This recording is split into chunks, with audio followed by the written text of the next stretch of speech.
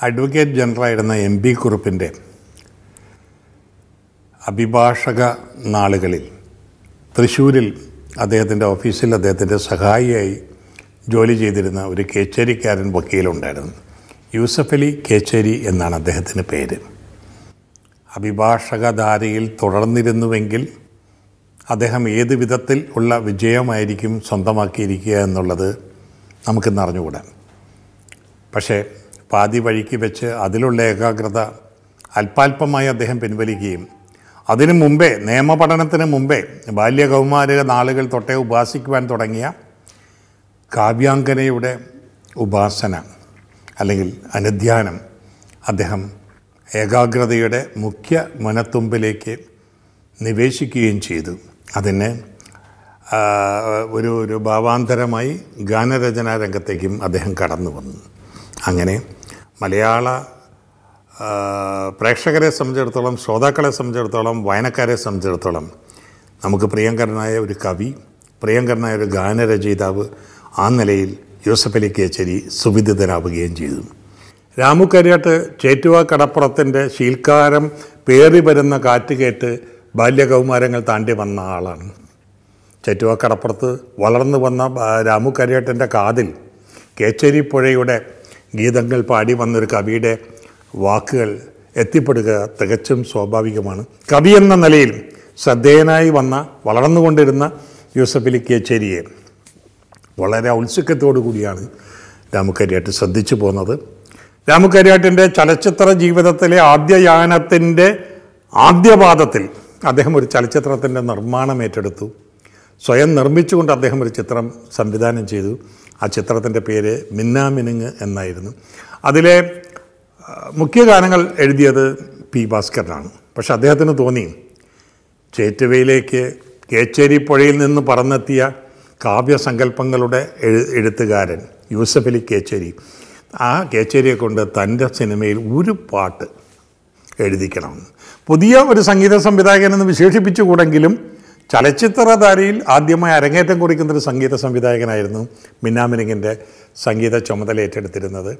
അങ്ങനെ മൂന്ന് പാട്ടുകൾ ഭാസ്കര മാഷ് എഴുതിയെങ്കിലും നാലാമതൊരു പാട്ട് മാത്രമാണ് യൂസഫ് അലി എഴുതിയതെങ്കിലും യൂസഫ് അലി കേച്ചേരി എന്ന ഗാനരചയിതാവിന്റെ കന്നിച്ചിത്രമായി മാറി മിന്നാമിനങ്ങ്. മിന്നാമിനങ്ങ് വലിയ സാമ്പത്തിക വിജയമൊന്നും നേടിയ ചിത്രമല്ല. പക്ഷെ എന്നാൽ പോലും രാമുക്കാരിയേട്ടന്റെ മിന്നാമിനങ്ങ് നമ്മുടെ ചരിത്രത്തിന്റെ താളുകളിൽ ഇടം തേടുന്നത് മലയാളിയുടെ മനസ്സ് സംഗീതാർദ്രമായി തുടരുന്നിടത്തോളം സംഗീതത്തിന്റെ നറുനിലാപ്രഭ കൊണ്ട് മലയാളി മനസ്സിനെ കുളിരണിയിച്ച എക്കാലത്തെയും മനസ്വര സംഗീത പ്രതിഭകളുടെ മുൻനിരയിൽ ഒന്നാമനോ ഒന്നാമരിൽ ഒരുവനുമായി നിലകൊള്ളുന്ന എം എസ് ബാബുരാജിനെ മലയാള സിനിമയ്ക്ക് കാഴ്ചവെച്ച ചിത്രമെന്ന നിലയിലാണ്. അതോടൊപ്പം തന്നെ എം എസ് ബാബുരാജ് ഈണമിടാൻ വേണ്ടി തന്റെ വരികൾ പകുത്ത് നൽകിക്കൊണ്ട് കടന്നു വന്ന യൂസഫ് അലി കേച്ചേരി എന്ന ഗാനരചയിതാവിന്റെ രംഗപ്രവേശത്തിന് ഭൂമിക ഒരുക്കിയ ചിത്രം എന്ന നിലയിൽ കൂടിയാണ്. ഗാനരചയിതാവായി കടന്നു വരുമ്പോൾ യൂസഫ് അലിക്ക് നേരിടാനുണ്ടായിരുന്നത് പ്രതിഭ ഔന്നത്യം കൊണ്ട് താരതമ്യങ്ങൾ പോയിട്ട് സമീപസ്ഥത്ത് എത്തിപ്പെടുക പോലും അസാധ്യമാം വിധം ഉന്നത നിലകളിൽ വിരാജിച്ചിരുന്ന മൂന്ന് പ്രകാശ സ്തൂപങ്ങളെയാണ്. മലയാള സിനിമയിലെ എക്കാലത്തെയും ഏറ്റവും ശ്രേഷ്ഠനായ ഗാനരചയിതാവായി. ഒരുപക്ഷെ ഇന്ത്യൻ സിനിമയിലെ തന്നെ ചോദ്യം ചെയ്യപ്പെടാനാവാത്ത വിധത്തിൽ പി ഭാസ്കരൻ നിറഞ്ഞു നിൽക്കുന്നൊരു കാലം. തൊട്ടൊപ്പം തന്നെ നിന്നുകൊണ്ട് വയലാർ രാമവർമ്മ തന്റെ കാവ്യ തല്ലജങ്ങൾ ഗാന ഗാനങ്ങളാക്കി മാറ്റിക്കൊണ്ട് മലയാള ചലച്ചിത്ര സംഗീത ശാഖയെ ധന്യമാക്കി അലങ്കാരങ്ങൾ തീർത്തുകൊണ്ടിരിക്കുന്ന കാലം. അതിനിടയിൽ അവർക്കൊപ്പം നിന്നുകൊണ്ട് തന്റെ കവിതയോടടുത്ത് നിൽക്കുന്ന ഗാനങ്ങളിൽ നാടൻ ശൈലികളെ ഉൾച്ചേർത്തുകൊണ്ട് തന്റേതായ ഒരു ഗാനരചന സമ്പ്രദായം അനുവർത്തിച്ചുകൊണ്ട് കവിയായ ഒ എൻ വിയുടെ നിറസാന്നിധ്യമുള്ള കാലം. ഈ കാലഘട്ടത്തിലാണ് യൂസഫ് അലി കേച്ചേരി ഈ മഹാപ്രതിഭകളായ മൂന്ന് പേരുടെ സജീവ സാന്നിധ്യത്തിനിടയിൽ നാലാമതൊരാൾക്ക് കടന്നു വന്നൊരു ഒരു ഇരിപ്പിടം ഉണ്ടാക്കുക ക്ഷിപ്രസാധ്യമായിരുന്നില്ല പക്ഷേ ആരെയും അലോസരപ്പെടുത്താതെ ആരുടെയും അവസരങ്ങളെ കടന്നാക്രമിച്ച് വശപ്പെടുത്താതെ യൂസഫ് അലി കേച്ചേരി തന്റെ എഴുത്ത് വഴിയിലെ വ്യത്യസ്തത കൊണ്ടും അനുഭവങ്ങളായ അദ്ദേഹത്തിന്റെ രചന വഴിയിലെ ബിംബങ്ങൾ കൊണ്ടും രൂപകങ്ങൾ കൊണ്ടും ഞാനും ഇവിടെയുണ്ട് എന്ന് കാലം ഏറ്റുപറയുന്ന വിധത്തിൽ തന്റെ സാന്നിധ്യത്തെ അംഗീകരിപ്പിച്ചെടുത്തു എന്നുള്ളത് പ്രത്യേകം പ്രസ്താവ്യമാണ്. ഒരുപക്ഷെ പി ഭാസ്കരനും വയലാർ രാമവർമ്മയും വൻവിയും വിരിച്ചൊരുക്കിയ ഒരു വഴിയുണ്ട് ഇവിടെ. സംഗീതത്തിൽ വരികൾക്കുള്ള പ്രാമുഖ്യത്തെ അടിവരയിട്ട് ഉറപ്പിച്ചൊരു വഴി. ആ വഴിയുടെ ആനുകൂല്യം മലയാളത്തിൽ അവരെ തുടർന്ന് വന്ന എഴുത്തുകാർക്കിടയിൽ ഗാനരചിതാക്കളിൽ ഏറ്റവും കൂടുതൽ അനുഗ്രഹിച്ചതും യൂസഫ് അലി കേച്ചേരിയാണ് തുടർന്ന് വന്ന പലർക്കും ഈണങ്ങൾ വരികളുടെ അർത്ഥസൗഷ്ടവത്തെ മുറിവേൽപ്പിച്ചുകൊണ്ട് മേൽക്കോയ്മ പുലർത്തുന്ന സംഗീത രീതികളോട് പൊരുത്തപ്പെടേണ്ടി വന്നപ്പോൾ പലപ്പോഴും ഭാഷയെ മുറിവേൽപ്പിക്കേണ്ടി വന്നിട്ടുണ്ട്. യൂസഫ് അലിയെ ഹൃദയം കൊണ്ട് വളരെയേറെ വാത്സല്യപൂർവം ചേർത്ത് നിർത്തിയിരുന്ന ദേവരാജൻ മാസ്റ്റർ പറഞ്ഞിട്ടുള്ളത് അയാളുടെ വരികൾ ഭാഷയെ സ്ട്രിപ്പ് ചെയ്യില്ല തുണിയഴിച്ച് അപമാനിക്കില്ല എന്നാണ്. അത്രത്തോളം ഭാഷയോടുള്ള വൈകാരികമായ ആദരവും സത്യസന്ധതയും പുലർത്തുവാൻ കഴിഞ്ഞ ഗാനരചയിതാവാണ് യൂസഫ് അലി കേച്ചേരി. മറ്റൊരു വലിയ സൗഭാഗ്യം കൂടി അദ്ദേഹത്തിനുണ്ടായിരുന്നു. ഭാസ്കര മാസ്റ്റർ കടന്നു വരുമ്പോഴും വയലാർ കടന്നു വരുമ്പോഴും ഒ എൻ വി കടന്നു വരുമ്പോഴും പല തരക്കാരായ ഒ എൻ വി ആ കാര്യത്തിൽ കുറേ കൂടെ ഭാഗ്യവാനാണ്. ഭാസ്കര മാഷും വയലാറുമാണ് പലതരത്തിൽപ്പെട്ട സംഗീത സംവിധായകരോടുകൂടി പല വിധത്തിലുള്ള സംഗീത യാത്രകൾക്ക് അനുയാത്ര ചെയ്യേണ്ടി വന്നത്. ഒ എൻ വി സാറിന് ലഭിച്ചത്.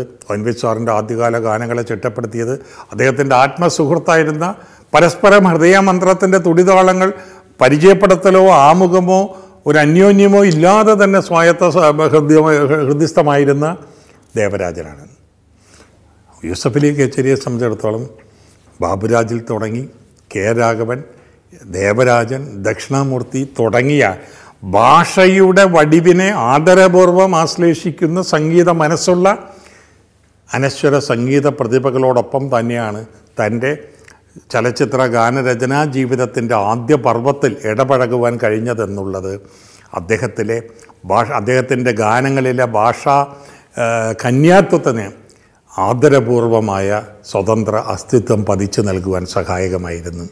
യൂസഫ് അലി കച്ചേരിയുടെ വരികൾക്ക് മനോഹരങ്ങളായ ഇണങ്ങളാണ് സുറുമ എഴുതിയ മെഴികളെക്കുറിച്ച് നാം പാടി കേൾക്കുമ്പോൾ ഒരു ഗസലിന്റെ എവിടെ നിന്നോ ഉയരുന്ന വിലാപസ്തുതിയിലൂടെ ഊയലാടി വരുന്ന പ്രണയ മന്ത്രണത്തിന്റെ ഒരു എന്താണ് പറയുക വല്ലാത്ത ആത്മ നിർവൃതി അത് നമ്മളിൽ എത്തിച്ചു തരുന്ന ആലാപനത്തിന്റെ ഭംഗിയും സംഗീതത്തിലെ ഈണത്തിന്റെ മികവും അതോടൊപ്പം തന്നെ വരികൾ പകർത്ത് നൽകുന്ന അതിന് അടിവരയിടുന്ന അർത്ഥഗരിമയുടെ ചൈതന്യവും കൂടി ചേർത്താണ് ആ ഗാനങ്ങളെ നാം ഇന്നും മനസ്സിൽ ചിരപ്രതിഷ്ഠയോടെ സൂക്ഷിക്കുന്നത്.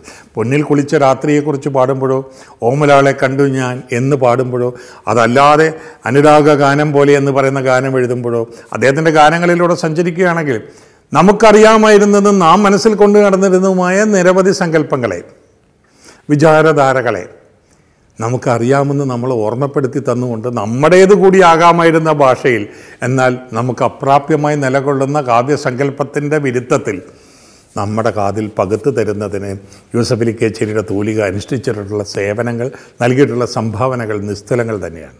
പേരറിയാത്തൊരു നൊമ്പരത്തിന് പ്രണയമെന്ന് പേരിട്ട് കവി മനസ്സ്. പ്രണയത്തെക്കുറിച്ച് നിരവധി സങ്കല്പങ്ങൾ നമ്മുടെ മനസ്സിലുണ്ട് നാം കേട്ടിട്ടുണ്ട്. ഇനിയും പുതിയ സങ്കല്പങ്ങൾ നമ്മുടെ മുമ്പിലേക്ക് വന്നു വിടാനിരിക്കുന്നു പക്ഷെ ഇങ്ങനെയും പ്രണയത്തെ കാണാം.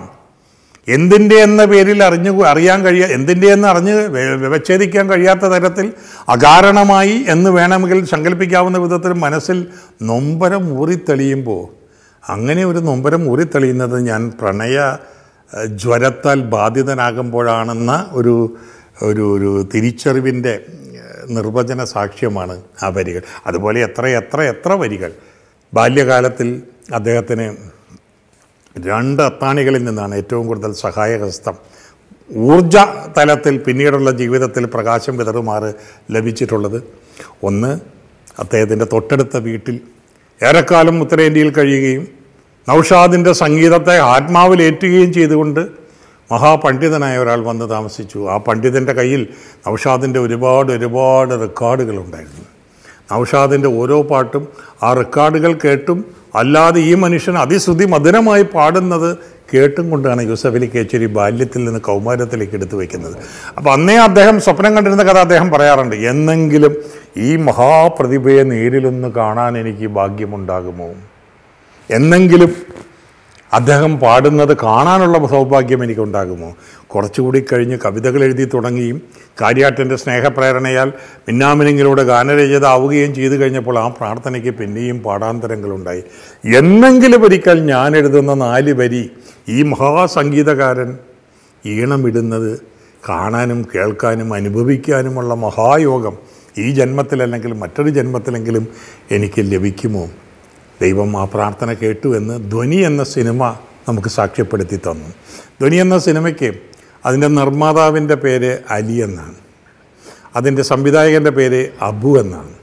ഗാനരചയിതാവ് യൂസഫ് അലിയാണ്.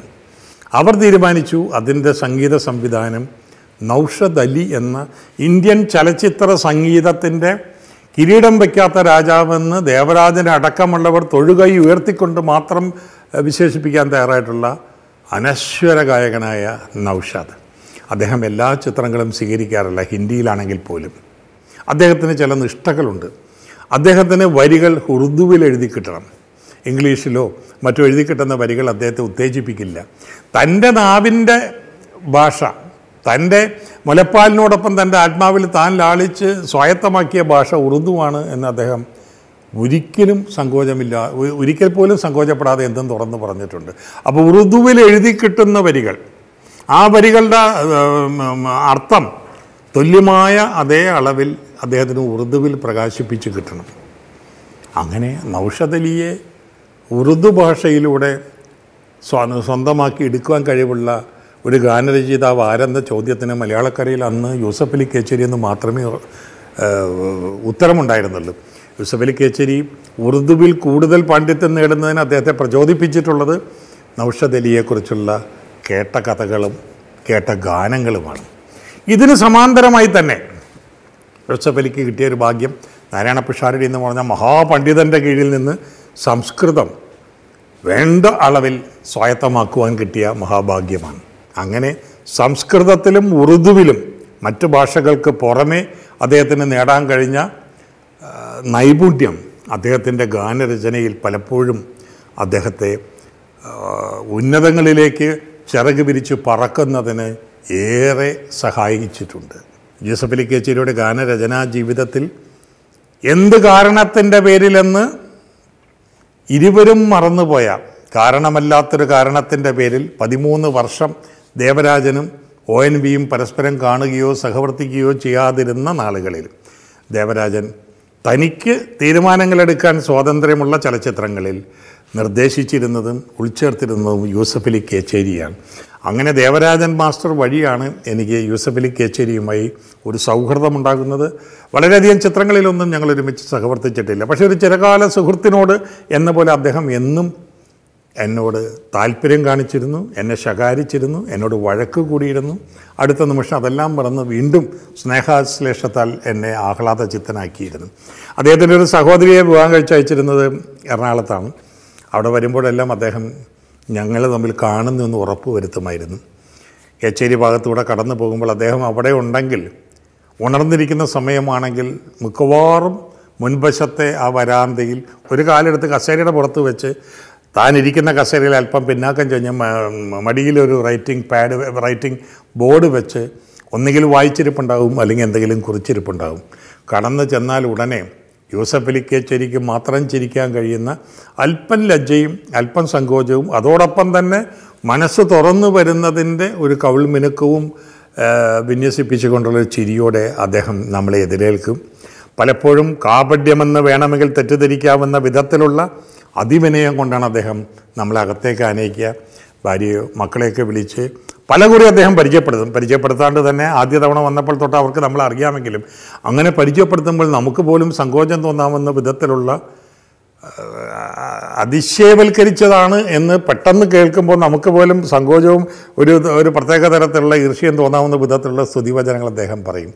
അദ്ദേഹത്തിന്റെ ചലച്ചിത്ര ഗാന സബരിയിൽ അദ്ദേഹത്തെ പല പടവുകളും കയറാൻ കൈപിടിച്ച് ആനയിച്ച് സഹായിച്ചിട്ടുള്ള ഒരു വ്യക്തിയാണെന്ന വിധത്തിലൊക്കെ എന്നെ പരിചയപ്പെടുത്തുമ്പോൾ അങ്ങനെയുള്ള പടവുകളെല്ലാം അദ്ദേഹം കയറി കഴിഞ്ഞ ശേഷം മാത്രം അദ്ദേഹത്തിന്റെ പരിചയസീമയിലേക്ക് വന്ന ഞാൻ ചൂളാതിരിക്കുന്നത് എങ്ങനെ പക്ഷെ അത് എന്നെ പ്രീതിപ്പെടുത്തുന്നതിനോ സന്തോഷിപ്പിക്കുന്നതിനോ വേണ്ടിയല്ല. ഒരാളെ ആശ്ലേഷിക്കുമ്പോൾ ആദരപൂർവം ആശ്ലേഷിക്കുക എന്നുള്ള അദ്ദേഹത്തിന്റെ രക്തത്തിൽ അലിഞ്ഞുപോയ സ്വഭാവചര്യയുടെ ഭാഗമായിട്ടാണ്.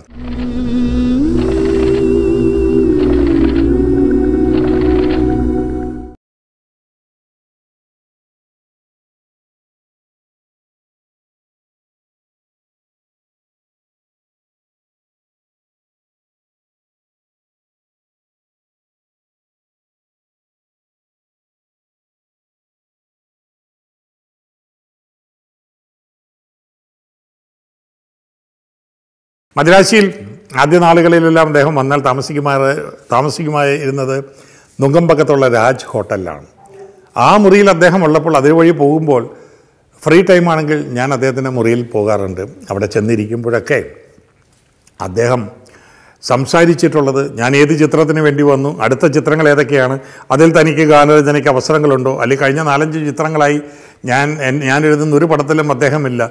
ഈ ഒരു പരാമർശമോ അതിന്റെ ഒരു സൂചനയോ വ്യംഗ്യമോ ഞങ്ങൾക്കിടയിൽ ഒരിക്കലും കടന്നു വന്നിരുന്നില്ല. ഞാൻ എഴുതുന്ന പുതിയ ചിത്രങ്ങളുടെ കഥകൾ കേൾക്കാൻ അദ്ദേഹം ഔത്സുക്യം കാണിച്ചു പോന്നിട്ടുണ്ട്. ആ കഥകളിലെ സവിശേഷമായി എന്തെങ്കിലും വ്യത്യസ്തതയുണ്ടെങ്കിൽ അതിനെ ആദരപൂർവം അദ്ദേഹം അഭിനന്ദിച്ചിട്ടുണ്ട്.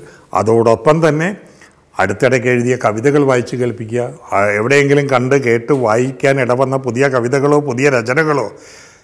എല്ലാ അർത്ഥത്തിലും ഒരു സാഹിതീ സംവാദത്തിന് വേണ്ടിയുള്ള വേദിയാക്കി ഞങ്ങളുടെ സമാഗമ സ്ഥലത്തെ മാറ്റുവാനുള്ള ഒരു താല്പര്യമാണ് അദ്ദേഹം എന്നും കാണിച്ചു പോകുന്നത് പോന്നിട്ടുള്ളത്. അതുകൊണ്ട് തന്നെ അദ്ദേഹത്തെ സന്ദർശിക്കുക എന്ന് പറയുന്നത് മനസ്സിന് ഉന്മേഷവും ഊർജവും പകരുന്ന ഒരു അനുഭവമായിരുന്നു എന്നെക്കുറിച്ച് എന്നെ സംബന്ധിച്ചിടത്തോളം എപ്പോഴും. യൂസഫലി കേച്ചേരി ഏഹ്, ഗാനരചനാരംഗത്ത് വളരെ സജീവമായിരുന്നു. പിന്നീട് അത്ര സജീവമല്ലാതെയായി. ധ്വനി എന്ന ചിത്രത്തിന് വേണ്ടി അദ്ദേഹം ഒരു സംസ്കൃത ഗാനം എഴുതുകയുണ്ടായി. അതുവരെ അത് ഈ ധ്വനിയിലെ സംസ്കൃത ഗാനം ഒഴികെയുള്ള എല്ലാ ഗാനങ്ങളും നൗഷദ് അലിയുടെ ഹൃദയത്തിന്റെ കയ്യൊപ്പ് ചാർത്തുന്ന രാഗാലാപനങ്ങളാണ്. പക്ഷേ അദ്ദേഹം നൽകിയ ട്യൂണുകൾക്കൊത്ത് മലയാള ഭാഷയെ മുറിവേൽപ്പിക്കാതെ നേരത്തെ സൂചിപ്പിച്ചതിന്റെ ആ സത്യസന്ധതയോടുകൂടിയ ഭാഷാ സമീപനത്താൽ തന്നെയാണ് യൂസഫ് അലി കേച്ചേരി വരികൾ എഴുതിയത്. പിന്നീട് അദ്ദേഹം വിനയപൂർവം നൌഷാദ് അലിയോട് ആവശ്യപ്പെട്ടു. എനിക്ക് ഞാൻ എഴുതുന്ന വരികൾക്ക് അങ്ങൊരു ഈണം പകർന്ന് ഒരു പാട്ട് കൂടി ഈ ചിത്രത്തിൽ വേണമെന്നുണ്ട്. അതൊരു സംസ്കൃത ഗാനമാണ്. ശ്രീരാമ സ്തുതിയാണ്. ആ വരികൾ കേൾക്കാൻ ഇടവന്ന അത് യൂസഫ് അലി മൂളുന്നത് കേൾക്കാൻ ഇടവന്ന നൗഷദ് അലി അതിൽ ഉത്തേജിതനായി ഏതാണ്ട് അഭൗമം എന്ന് തന്നെ അടിവരയിട്ട് വിശേഷിപ്പിക്കേണ്ട രീതിയിലുള്ള സംഗീതമാണ് അതിന് പകർന്നത്. പി സുശീലയും യേശുദാസും മാറി മാറി ആ ഗാനം ആലപിക്കുകയുണ്ടായി. ആ ഗാനരചനയുടെ പേരിൽ യൂസഫ് അലിക്ക് ഇന്ത്യയിലെ ഏറ്റവും മികച്ച ഗാനരചയിതാവിനുള്ള ദേശീയ ചലച്ചിത്ര അവാർഡ് ലഭിക്കുകയുണ്ടായതും ഇക്കൂട്ടത്തിൽ ഓർക്കുന്നു. ഹരിഹരന്റെ സ്വർഗം എന്ന സിനിമയ്ക്ക് വേണ്ടി ബോംബെ രവിയോടൊപ്പം സഹകരിക്കുമ്പോഴും ദേവരാജന്റെ കൂടെയോ ബാബുരാജന്റെ കൂടെയോ രാഘവ മാസ്റ്ററുടെ കൂടെയോ ദക്ഷിണാമൂർത്തി സ്വാമിയുടെ കൂടെയോ സഹവർത്തിക്കുമ്പോഴുള്ള അതേ ആർജവം അദ്ദേഹം എഴുതിയ ഗാനങ്ങളിൽ നമുക്ക് കണ്ടെടുക്കാനായി. അദ്ദേഹം കഥാപാത്രങ്ങളുടെ പരിവർത്തത്തിലേക്ക് ആഴത്തിൽ ഇറങ്ങിച്ചേർന്നുകൊണ്ട് കഥാസംസ്കൃതിക്ക് ഇണങ്ങുന്ന വിധത്തിലുള്ള വരികൾ ഇണക്കി തരുമ്പോഴും അദ്ദേഹത്തിലെ കവിയുടെ ഒരു ചിട്ടവട്ടങ്ങൾക്ക് കൂടി ചേരുംപടിയാണ് അവ നിവർത്തിച്ചതെന്നതും നാം ആ വരികളിലൂടെ ഒരു പുനരാത്ര നടത്തുമ്പോൾ തിരിച്ചറിയുന്നു. അതേപോലെ ഗാനരചനാരംഗത്ത് സജീവമായതിന്റെ പേരിൽ മലയാള കവിതയ്ക്ക് നഷ്ടം സംഭവിച്ചു എന്ന പരാതിയാണ് വയലാറിനെക്കുറിച്ച് ഉയർന്നു കേട്ടിട്ടുള്ളത്. ഭാസ്കർ മാസ്റ്ററെക്കുറിച്ചും അങ്ങനെ ഒരു പരാതി ഉയർന്നു കേട്ടിരുന്നുവെങ്കിലും സിനിമാ രംഗത്ത് തിരക്കുകൾ കുറഞ്ഞ് അതി സജീവ സാന്നിധ്യമല്ലാതെ ഇരുന്ന സന്ദർഭങ്ങളിൽ അദ്ദേഹം എഴുതിയ കവിതകൾ കൊണ്ട് പൂർവാശ്രമത്തിൽ എഴുതിയ കവിതകൾക്കൊരു തുടർച്ചയുടെ നൈരന്തര്യം ഉണ്ടാക്കുവാൻ ഭാസ്കർ മാസ്റ്റർക്ക് കഴിഞ്ഞു. ഒ എൻ വി സാർ പിന്നെ ഒരു കോളേജ് അധ്യാപകന്റെ നിലയിൽ നിന്നുകൊണ്ട് തനിക്ക് ലഭ്യമാകുന്ന പ്രാപ്യമാകുന്ന ഒഴിവ് ദിനങ്ങൾ മാത്രമാണ് ചലച്ചിത്ര ഗാനരചനയ്ക്ക് പ്രത്യേകിച്ചും ഉത്തരാശ്രമ വേളകളിൽ പകുത്ത് നൽകിയത്. അതുകൊണ്ട് അദ്ദേഹത്തിന് കാവ്യോപാസനയിൽ ഭംഗം വരുത്താതെ തന്നെ ചലച്ചിത്ര ഗാനരചനയിൽ മുഴുകുവാൻ കഴിഞ്ഞു. ഏതാണ്ട് ഒ എൻ വിക്ക് ലഭിച്ച ആ സൗഭാഗ്യം തന്നെയാണ് യൂസഫ് അലി കേച്ചേരിക്കും പ്രാപ്യമായത്. കാരണം അഭിഭാഷക വൃത്തിയിൽ തുടർന്നിരുന്നില്ല എങ്കിലും അദ്ദേഹം ഗാനരചനയ്ക്ക് വേണ്ടി മുഴുവൻ സമയവും മദ്രാസിയിൽ ചെന്ന് അവിടെ അതിൽ മാത്രം ഏകാഗ്രമായി മനസ്സൂന്നി നിൽക്കുന്ന എഴുത്തുകാരനായില്ല. അദ്ദേഹം കവിതകൾ തുടർച്ചയായി എഴുതി പോന്നു സമാന്തരമായി തന്നെ യൂസഫ് അലി കേച്ചേരി എന്ന കവി തന്റേതായ ഒരു സ്ഥാനം ഒരു സിംഹാസനം മലയാള കാവ്യശാഖയിൽ ഇതിനകം സ്വന്തമാക്കുകയും അതിന് സമാന്തരമായി ഗാനരചയിതാക്കൾക്കിടയിൽ വ്യത്യസ്തങ്ങളായ സങ്കല്പങ്ങളെ പരിചിതങ്ങളായ രൂപകങ്ങളോട് ഇടചേർത്തുകൊണ്ടുള്ള ഒരു ഗാനരചന വഴിയും സ്വന്തമാക്കുകയും ആണ് ചെയ്തു പോകുന്നത്. അതുകൊണ്ട് അദ്ദേഹം ഗാനരചനാരംഗത്ത് ശ്രദ്ധിക്കപ്പെട്ടതുപോലെ തന്നെ കവിതയുടെ ധാരയിൽ കവിതയ്ക്ക് നഷ്ടങ്ങൾ വരുത്താതെ കവിതയെ സമ്പന്നമാക്കുന്ന കാവ്യ ഉപാസകനായി ചരിത്രത്തിന്റെ താളിൽ ഇടം നേടുകയും ചെയ്തു. ഗാനരചയിതാവായി കടന്നു വന്ന യൂസഫ് അലി കേച്ചേരി നിർമ്മാതാവിന്റെ മേലങ്കി അണിയുന്നത് മധു സംവിധായകനായി നായക വേഷമണിഞ്ഞ സിന്ദൂരച്ചെപ്പ് എന്ന ചിത്രത്തിലൂടെയാണ്. സിന്ദൂരച്ചെപ്പിന്റെ തിരക്കഥാകൃത്തും യൂസഫ് അലിയായിരുന്നു ആ തിരക്കഥ വായിച്ചപ്പോൾ മധു സാറ് പറഞ്ഞിട്ടുള്ളത് ഒരു ഗ്രാമത്തിന്റെ പരിച്ഛേദം മുഴുവൻ നിഴലുകളായും നിറവാർന്ന രൂപങ്ങളായും നമ്മുടെ മുമ്പിലൂടെ ഇങ്ങനെ ഘോഷയാത്രയായി നടക്കുന്ന പ്രതീതിയാണ് അത് വായിച്ചപ്പോൾ ഉണ്ടായത്. അതിൽ നിന്ന് ആവശ്യമുള്ളതിനെ നിഴലും പ്രകാശവും കൊണ്ട് വിധാനിച്ച് ഉയർത്തെടുക്കുക ഉയർത്തെടുക്കുക എന്ന് പറയുന്നതായിരുന്നു സംവിധായകന്റെ മുമ്പിലെ വെല്ലുവിളിയെന്ന്. വളരെ മലയാളി വളരെ ഹൃദയം കൊണ്ട് ചേർത്തണച്ച ചിത്രങ്ങളിൽ ഒന്നാണ്. തിരിഞ്ഞു നോക്കുമ്പോഴും അതെ അന്ന് കണ്ട ആസ്വദിക്കുമ്പോഴും അതെ സിന്ദൂരച്ചെപ്പ് അതിന് തുടർന്നുള്ള ചിത്രം അദ്ദേഹം തന്നെയാണ് സംവിധാനം ചെയ്തത്. മരം. ഭേദപ്പെട്ട ഒരു ചിത്രം എന്ന് മാത്രമേ സിന്ദൂരച്ചെപ്പുമായി താരതമ്യ തലത്തിൽ മരത്തെ നമുക്ക് വിശേഷിപ്പിക്കാൻ കഴിയൂ. പക്ഷെ അതിലെ മനോഹരമായ ഗാനങ്ങളുടെ പേരിൽ നാം യൂസഫ് അലി കേച്ചേരിയെ സംവിധായകനായ യൂസഫ് അലി കേച്ചേരിയെ സ്നേഹിക്കുന്നതിനേക്കാൾ കൂടുതൽ സ്നേഹിക്കുന്നു. പിന്നീട് അദ്ദേഹം സംവിധാന രംഗത്ത് കാഴ്ചവെച്ച ചിത്രങ്ങൾ വേണ്ട വിധം അദ്ദേഹം ചെയ്യേണ്ടിയിരുന്ന ചിത്രങ്ങളായിരുന്നുവോ എന്ന ശങ്ക ബാക്കി നിൽക്കുന്നു. തലമുറകൾ എന്ന് കാണുമ്പോഴും ആവർത്തിച്ച് ആവർത്തിച്ച് കാണുമ്പോഴും മനസ്സിൽ സംഗീതസാന്ദ്രമായ ഒരു കവിതയുടെ തൊഴിലുണർത്തൽ ഉണ്ടാക്കുന്ന ഒരു ചിത്രമാണ് മധുമതി എന്ന ചലച്ചിത്രം. ആ ചലച്ചിത്രം വനദേവത പേ എന്ന പേരിൽ മലയാളത്തിലേക്ക് ആക്കിയപ്പോൾ ആദ്യവസാനം അക്ഷരപ്പെശകുകൾ കൊണ്ട് കാലടറിപ്പോയൊരു സംവിധായകനെയാണ് നിർഭാഗ്യവശാൽ യൂസഫ് അലി കേച്ചേരി നമ്മുടെ മുമ്പിൽ അനാവൃതമാക്കിയത്. അത് അദ്ദേഹത്തിന് സംഭവിച്ച ഭ്രംശങ്ങളിലൊന്നായി അല്ലെങ്കിൽ ഇടർച്ചകളിലൊന്നായി തന്നെ ഓർക്കാതെയും വയ്യ. സത്യസന്ധമായ ഒരു സ്മൃതി പ്രണാമം എന്ന് പറയുന്നത് യോജിക്കുന്നതോടൊപ്പം വിയോജിക്കുവാനുമുള്ള സ്വാതന്ത്ര്യം കൊണ്ട് സത്യസന്ധമായി നടത്തേണ്ട ഒരു സമീപനമാണ് എന്ന് ആ ആത്മാവ് തിരിച്ചറിയും എന്ന ബോധ്യത്തിൽ നിന്നാണ് ഞാനിത് പറയുന്നത്. എന്റെ ഈ വിയോജനക്കുറിപ്പ് അദ്ദേഹം ചെയ്യേണ്ടിയിരുന്ന എത്രയോ ഉന്നതങ്ങളായ കാര്യങ്ങൾക്ക് വേണ്ടി ചെലവഴിക്കേണ്ടിയിരുന്ന സമയം ഒരു വൃഥാ വ്യായാമത്തിന് വേണ്ടി ചെലവഴിക്കപ്പെട്ടുവല്ലോ എന്ന നിരാശതയിൽ നിന്ന് തന്നെ ഉയർന്നു വരുന്നതുമാണ്. പിന്നീട് അദ്ദേഹം നീലത്താമര എന്ന പേരിൽ ചിത്രം ഒരുക്കുകയുണ്ടായി അംബിക സത്താർ അങ്ങനെയുള്ള കുറച്ചു പേരുടെ ആദ്യകാല ചിത്രങ്ങളിൽ പെടുന്നൊരു ചിത്രമാണ് എം ടിയുടെ പ്രകൃഷ്ടമായൊരു രചനയാണ്. അന്നത്തെ ഒരു മുഖ്യധാരാ ചിത്രങ്ങളുടെ കൂട്ടത്തിൽ അതൊന്ന് വേറിട്ട് നിന്നിരുന്നു എന്നുള്ളത് മാറ്റിവെച്ചാൽ അത് അത്ര വലിയൊരു ചലച്ചിത്ര ശില്പമായിരുന്നു എന്ന ചോദ്യം ബാക്കിയുണ്ട്. പിന്നീട് വർഷങ്ങൾക്ക് ശേഷം ആ ചിത്രം പുതുമുഖങ്ങളെ വെച്ചുകൊണ്ട് എം ടി തിരക്കഥയിൽ വരുത്തിയ ചെറിയ ഭേദഗതികളോടുകൂടി ലാൽ ജോസ് സിനിമയാക്കുകയുണ്ടായി. തീർച്ചയായും ലാൽ ജോസിന്റെ ചിത്രമാണ് ജനങ്ങൾക്ക് ഞാനടക്കമുള്ള പ്രേക്ഷകർക്ക് കൂടുതൽ സ്വീകാര്യമായി തോന്നിയത് അത് യൂസഫ് അലി കേച്ചിയിലുള്ള നിന്ദ എന്ന രീതിയിലല്ല ആ സ്വീകാര്യത നമ്മളിവിടെ തുറന്ന് പ്രകാശിപ്പിക്കുന്നത്. പക്ഷേ യൂസഫ് അലി കേച്ചേരി എന്തുകൊണ്ടോ തെറ്റിദ്ധരിക്കുകയും അതോ തെറ്റായി വ്യാഖ്യാനിക്കുകയും ചെയ്തുകൊണ്ട് അതിന്റെ ആ റീമേക്ക് ഭാഷ്യത്തിന് വ്യാകരണ കുറവുണ്ടായതായി പരാമർശിച്ചു കണ്ടു. വളരെ ഖേദം തോന്നി. സിനിമ എന്ന കലയുടെ സൈദ്ധാന്തികധാരയിൽ നിന്നോ സൗന്ദര്യശാസ്ത്രധാരയിൽ നിന്നോ ഉള്ള വിചാരണയിൽ അപ്രകാരം തെറ്റായൊരു പരാമർശം അദ്ദേഹത്തിൽ നിന്നുണ്ടായതിൽ വ്യാകരണ പെശക് പറയുകയാണെങ്കിൽ അതിൽ കൂടുതൽ വ്യാകരണ പെശകുകൾ മുൻ ഭാഷ്യത്തിൽ ഉണ്ടായിരുന്നില്ലേ എന്ന ചോദ്യം സ്വാഭാവികമായും പ്രസക്തമാണ്. ഇത് ഞാൻ ഇങ്ങനെ പറഞ്ഞു എന്നുള്ളത് അദ്ദേഹം ജീവിച്ചിരിക്കുമ്പോൾ അദ്ദേഹത്തിന്റെ കാതിലെത്താണെങ്കിൽ അദ്ദേഹം നിശ്ചയമായും എന്റെ അടുത്ത് ക്ഷോഭിക്കും ചുണ്ടിയെടുക്കും എന്നോട് കലഹിക്കും അല്പം കഴിഞ്ഞ ശേഷം അല്ലെങ്കിൽ ഞാൻ എന്തിനാണ് തന്നോട് വഴക്ക് പറഞ്ഞത്? താൻ തന്റെ അഭിപ്രായം പറയുന്നു ഞാൻ എന്റെ അഭിപ്രായം പറയുന്നു.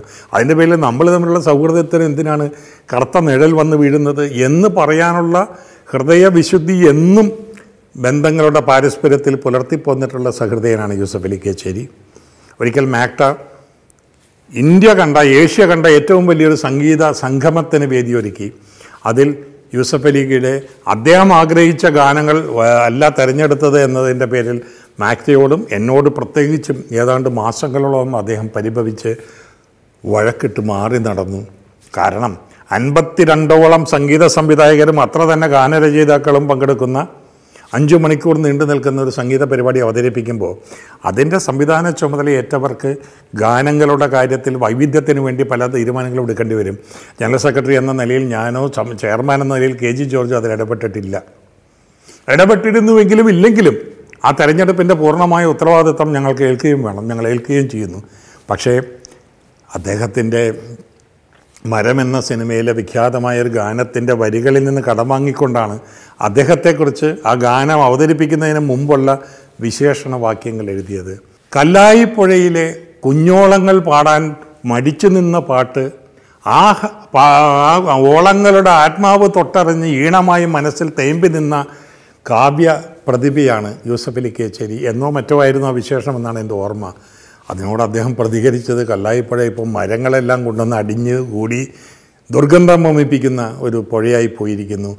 അതിന്റെ പേരിൽ അതിന്റെ ഒരു കുഞ്ഞോളങ്ങളുടെ ഈണമാണ് എന്റെ എന്ന് പറയുമ്പോൾ എന്നെക്കുറിച്ചുള്ള ഒരു നിന്ദാപൂർവമായ പരാമർശമാണ് അതിലുള്ളത്. ഇത് ഒരു തെറ്റായ വ്യാഖ്യാനമാണ്. കല്ലായിപ്പുഴയുടെ സൗന്ദര്യത്തെ ആരാധിച്ചിരുന്ന ആളായതുകൊണ്ടാണ് കല്ലായിപ്പുഴ അദ്ദേഹത്തിന്റെ പല പാട്ടുകളിലും കടന്നു വന്നിട്ടുള്ളത്. വളരെ ക്ഷണികമായ ഒരു വികാര വിക്ഷോഭത്തിന്റെ പുറത്ത് നടത്തിയ ഒരു അനാവശ്യ പരാമർശമായിട്ടാണ് ഞാൻ അതിനെ കണ്ടത്. ഞാൻ അതിനോട് പ്രതികരിച്ചില്ല. പിന്നീട് എപ്പോഴോ കണ്ടു കഴിഞ്ഞപ്പോൾ ഇങ്ങനൊരു സംഭവമേ നടന്നതായ ഓർമ്മയില്ലാതെ വളരെയേറെ സ്നേഹാതിഥ്യത്തോടുകൂടി അത് എന്നെ കെട്ടിപ്പിടിക്കുകയും ഞാൻ തന്നെ ഇത് ഓർമ്മപ്പെടുത്തിക്കൊണ്ട് പറയാം അന്നേരം എനിക്ക് അങ്ങനെ ഒരു കലി തോന്നി. ആ കലി എഴുതിയപ്പോൾ എന്റെ മനസ്സിൽ നിന്ന് ഒഴിഞ്ഞു എഴുതിയില്ലായിരുന്നെങ്കിൽ നമ്മൾ തമ്മിൽ കാണുമ്പോൾ ചിലപ്പോൾ എന്റെ മനസ്സിലൊരു കരട് കിടന്നേനെ. ഇങ്ങനെ പറയുമ്പോൾ നമ്മുടെ മുമ്പിൽ അദ്ദേഹം അനാവൃതമാക്കി തരുന്ന ഒരു ശുദ്ധ മനസ്സിന്റെ നേർക്കാഴ്ചയുണ്ട്. ആ വരികൾ ആ മനസ്സിന്റെ സത്യസന്ധമായ ആലേഖനങ്ങളായിരുന്നു. ആ കവിതകൾ ആ ഗാനങ്ങൾ ആ മനസ്സിന്റെ ഹൃദയവിശുദ്ധിയുടെ വിളംബര പത്രങ്ങളായിരുന്നു. ആ നല്ല വരികളുടെ പേരിൽ ആ നല്ല ഈരടികളുടെ പേരിൽ അവ ഉണർന്ന് ഉയർന്നു വന്ന ആ മനസ്സിന്റെ ആർദ്രതയുടെ ഒരിക്കലും മരണമില്ലാത്ത നിലാപ്രഭയുടെ പേരിൽ യൂസഫലി കേച്ചേരി എനിക്കേറെ പ്രിയങ്കരനാണ് നിങ്ങൾക്കും.